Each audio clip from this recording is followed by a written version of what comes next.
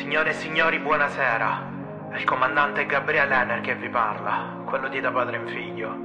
Benvenuti a bordo della Barza Airlines. A breve membri del nostro equipaggio vi offriranno il tè caldo più famoso di YouTube. Allacciate le cinture e godetevi il viaggio.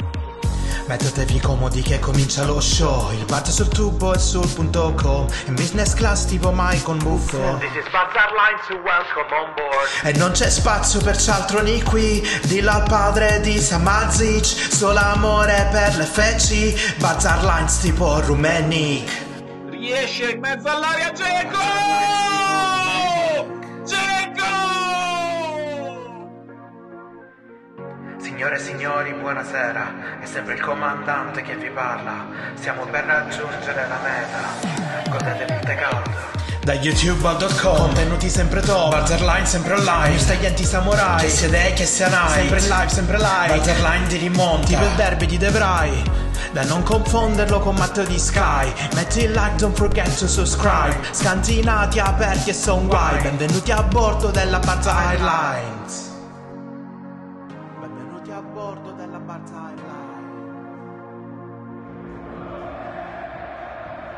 Passeggeri della Barza Airline, buongiorno. Ci scusiamo per queste turbulenze emotive, ma ci auguriamo che il viaggio sia stato di vostro gradimento. Il cielo fuori è nerazzurro come sempre, condizioni climatiche ottime. Grazie per aver scelto di viaggiare con noi. Un abbraccio, Gabriele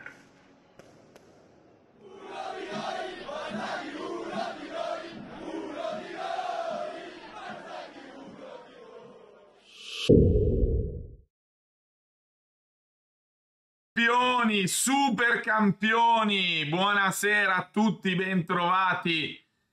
Gli occhiali scaramantici hanno fatto il loro compito preciso, ma soprattutto questo giocatore qua, le figurine nipotino, è Lautaro Martinez, che al 91esimo, dopo una partita dura, combattutissima, di dominio, con il Napoli a difendere strenuamente, l'Inter è riuscita a sbloccarla, evitando dei pericolosissimi calci di rigore che avrebbero potuto favorire anche il Napoli che aveva passato quasi tutta la partita cercando di difendersi anche con una grande occasione da parte di Kvaraschelia su cui è volato è stato super un Sommer ancora di clean sheet un Inter che riesce riesce a conquistare la terza coppa supercoppa consecutiva eguagliando il Milan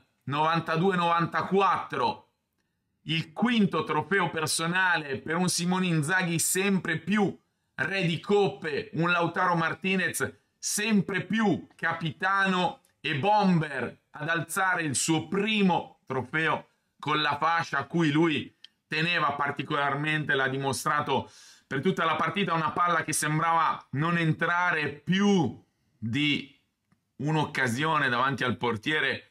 Imprecisioni, un Inter che come spesso le succede non è proprio killer e non riesce a concretizzare tutto quello che, costru- che costruisce. Un Napoli ben messo in campo, però molto rinunciatario che quasi mai è riuscito a ripartire anche per una partita attentissima da parte di tutti, soprattutto degli esterni, dei difensori.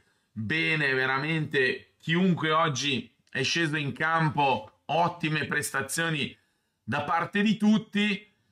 Stanchezza, dura battaglia e alla fine è arrivato anche quello che non volevamo, il cartellino giallo a Barella al 54esimo per delle proteste inutili che si potevano evitare e a Firenze si andrà senza Barella e senza Cialanoglu che però eh, ci saranno con la Juventus ma diventa ancora più difficile la trasferta di Firenze a cui adesso bisogna cominciare a pensarci. Formazione era quella che avevamo previsto quindi con un bastoni risparmiato perché non al meglio e un ottimo De Vrij a far scivolare braccetto Acerbi, un Inter che fin dall'inizio ha avuto un sacco di occasioni senza però mai riuscire a trovare la via della rete, senza grandissime parate da parte di, di Gollini, ma tante conclusioni fuori.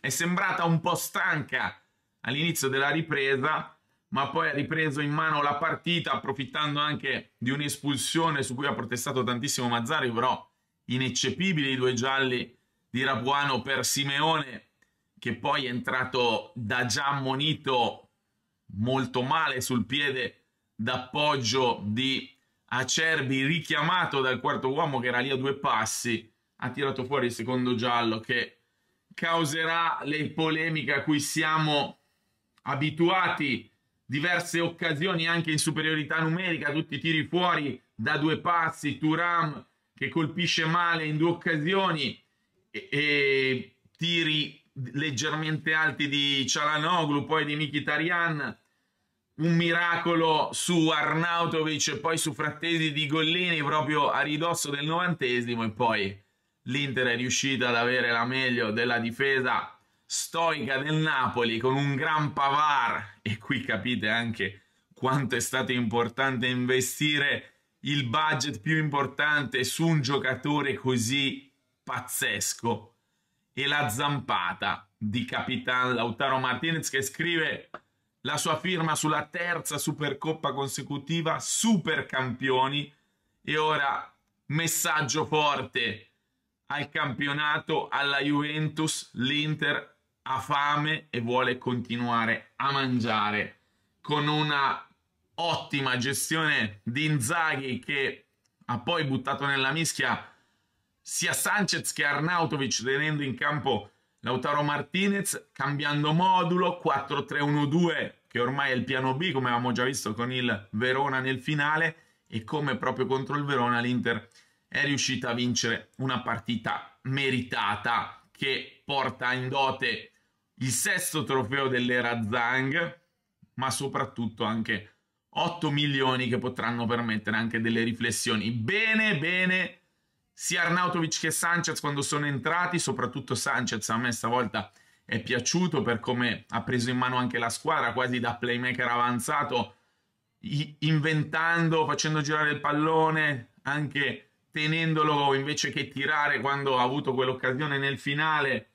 Molto bene anche Arnautovic, si è tolto quella pressione che sentiva addosso e sono convinto che diventeranno utili strada facendo. Pagellone, cominciamo da un Sommer che ha fatto una sola grande parata, ma anche un grande lavoro di costruzione sempre preciso con i piedi, 7 altro clean sheet ennesimo di una stagione straordinaria, sette e mezzo Pavar che ha spinto fin dall'inizio, ha risolto situazioni in difesa e ha sfornato l'assist decisivo con una gran palla in mezzo, sette e mezzo lui 7 De Vrij finché è rimasto in campo molto molto bene. In più di un'occasione anche a sbrogliare situazioni pericolose.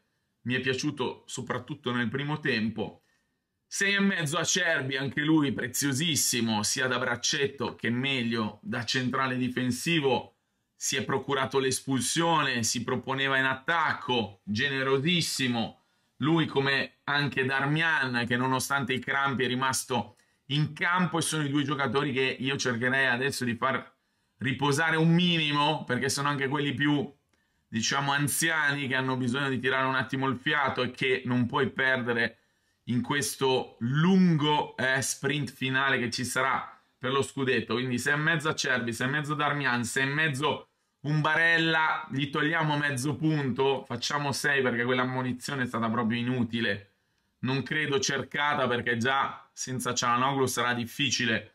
A Firenze sarebbe servita la sua, la sua classe, la sua qualità. 7 Ciala che dopo l'ammonizione si è un po' diciamo gestito per non lasciare la squadra in 10, non l'ha cambiato Inzaghi proprio per la possibilità dei calci di rigore non rinunciare a uno come lui dal dischetto infallibile. 7 un Mkhitaryan che ha gestito, ha creato, ha difeso è andato in sovrapposizione più di una volta. 7 a lui 6 e mezzo di Marco anche soprattutto nel primo tempo la sua solita grande prestazione poi è venuta fuori un po' di stanchezza diciamo 6 a Turam che avrebbe dovuto magari concretizzare qualcosa in più, anche se ha fatto la sua solita bella partita. E poi diamo un 9 a Lautaro Martinez che l'ha risolta quando tutto sembrava portare i calci di rigore. 8 Inzaghi per come l'ha gestita, per come è passato anche a cambiare modulo nel finale.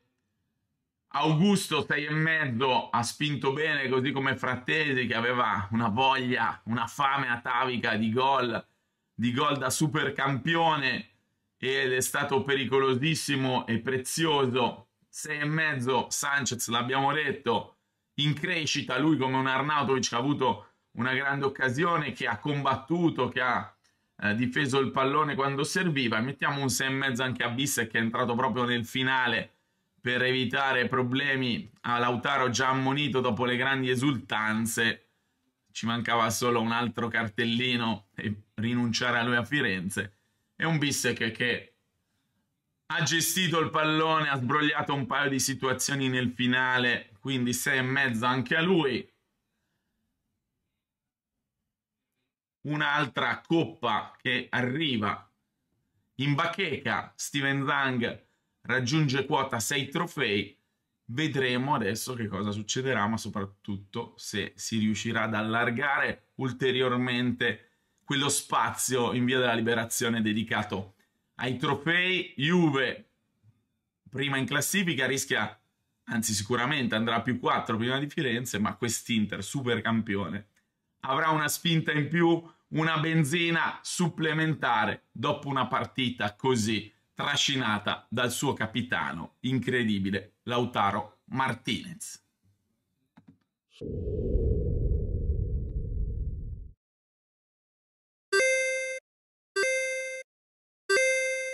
Signore e signori, buonasera.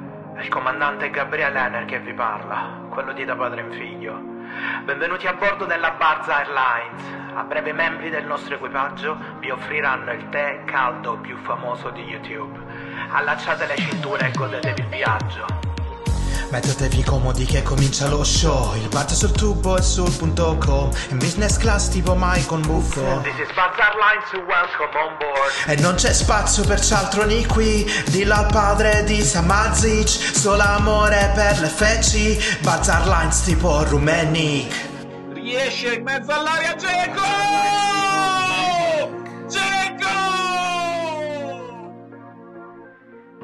Signore e signori, buonasera. È sempre il comandante che vi parla. Stiamo per raggiungere la meta. Godetevi il caldo. Da youtube.com Contenuti sempre top. Buzzerline sempre online. News taglienti samurai Che sia day che sia night. Sempre in live, sempre live. Buzzerline di rimonta. Tipo il derby di De Vrij. Da non confonderlo con Matteo di Sky. Metti il like, don't forget to subscribe. Scantinati, aperti e son guai Benvenuti a bordo della Barza Airlines